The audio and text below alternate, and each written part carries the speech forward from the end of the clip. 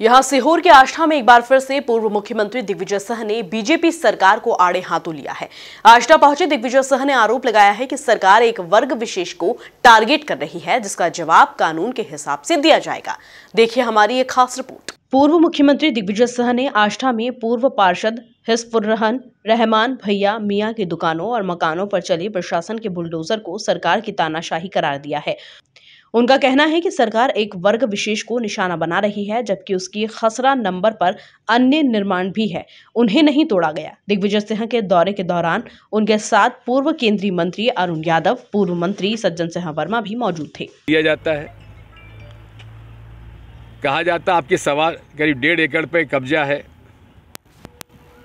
डेढ़ एकड़ पर जो कब्जा बताया गया है, पीछे कुछ फेंसिंग इन्होंने लोग बाग घुस आते थे अंदर से तो उन्होंने फेंसिंग कर ली थी। उन्होंने हटा दी गेट हटा दिया। खाली पड़ा है। खाली पड़ा है तलाई खाली पड़ी हुई है। वहाँ पर सरकार की ज़मीन का बोर्ड भी लगा हुआ है। ठीक है। तहसीलदार साहब नोटिस देते हैं केवल एक व्यक्ति को। जबकि वहाँ कम से कम सत्तर दो सौ मकान है। हाँ? दो सौ मकान है। लगभग 200 मकान उस नंबर 115 में। किसी एक को नोटिस नहीं दिया जाता है। केवल भैया मियाँ को नोटिस दिया जाता है। क्यों दिया जाता है, मुझे बताने की ज़रूरत नहीं है। उसके बाद, वो जो पीछे गेट लगा था, उन्होंने हटा दिया, वहाँ पे बोर्ड लग गया, सास की ज़मीन है। बात ख़त्म हो गई। फिर बात आती है कि हमको दुकानें तोड़ना है। अब इसकी नपती भी नहीं होती है। बिना नपती के, क्योंकि नपती में भैया मियाँ कह रहे हैं कि 100 बाय 40 रोड पे 100 है भीतर उसके जो गहराई है वो 40 फुट। है उसकी कोई नपती नहीं होती है। लेकिन बीच की चार पाँच दुकानें तोड़ दी जाती हैं। तहसीलदार साहब ने खिलाफ फैसला दे दिया एसडीएम साहब ने खिलाफ फैसला दे दिया एडिशनल कलेक्टर के साहब के पास पेंडिंग है। सिविल कोर्ट में लगा दिया गया है। वहीं पूर्व पार्षद भैया मियाँ का ये भी कहना है कि उनका निर्माण पूरी तरह वैध था। तो वहीं प्रशासन का कहना है कि तहसील कार्यालय में प्रकरण का निर्णय आने के बाद ही कार्यवाही को अंजाम दिया गया। तो प्रशासन के ऊपर है साहब हमारे पास तो कागज़ हैं उसके और हमने कागज़ लगाए हैं तहसील में भी। वो कोर्ट में भी लगाए। हैं अच्छा दस्तावेज़ हैं आपके पास? दस्तावेज़ हैं पंचायत से हमें अलाट है। ये अलीपुर जो है पैंसठ चौंसठ छियासठ सत्तर तक जो है डाबरी पंचायत में था। तो ये पूरा पाँच एकड़ इकसठ डेसिमल का नंबर है एक सौ पंद्रह। ये पहले पूर्व में दो नंबर हुआ करते थे दो सौ चालीस और तीन सौ बाईस। तीन सौ बाईस में हमारे को ये पट्टे दिए गए थे।